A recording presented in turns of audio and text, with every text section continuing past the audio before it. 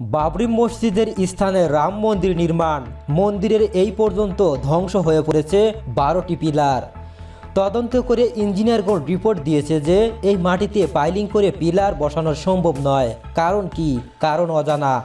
পাহাড়ি উঁচু জমিনের নির্বিঘ্নে হালকা পাইলিংয়ে কয়েকতলা প্রাসাদ করা সম্ভব। অথচ বাবরি মসজিদের স্থানে এই কয়েকবার চেষ্টা করেও ব্যর্থ হয়েছে বারবার তারা। অযোধ্যায় ঐতিহাসিক বাবরি মসজিদ শহীদ করে রাম মন্দির নির্মাণের কাজে ফের বাধা পড়েছে। এতদিন আইনি জটিলতায় রাম মন্দির নির্মাণ বাধাগ্রস্ত হয়েছিল।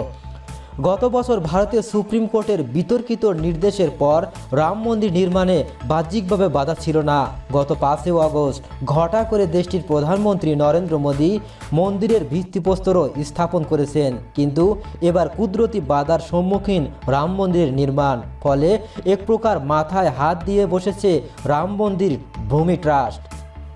শ্রীরাম জন্মভূমি তীর্থক্ষেত্র ট্রাস্ট জানিয়েছে, মাটি পরীক্ষার পর দেখা গেছে, মন্দিরের ভর ধরে রাখার মতো ক্ষমতা নেই নির্মীয়মান কাঠামোর, যার জেরে সমস্যায় মন্দির নির্মাণের কাজ, ফলে বিকল্প উপায় খুঁজে বেড়াচ্ছে trust.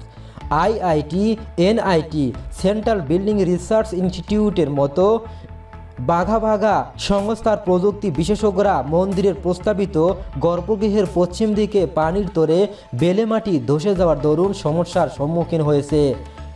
গোটা স্থাপত্যের যে নকশা ল্যারসন অ্যান্ড টিউব্রো জমা দিয়েছে, তাতে দেখা গেছে ভূপৃষ্ঠ থেকে বিশ থেকে চল্লিশ মিটার গভীরে বারো শত কংক্রিট ফিলার বসানো হবে। ট্রাস্টের সচিব জানিয়েছে, বেশ কয়েকটি ফিলার ভূপৃষ্ঠ থেকে একশত পঁচিশ ফুট নিচে বসিয়ে তার আঠাশ দিন পর পরীক্ষা করা হয়েছিল।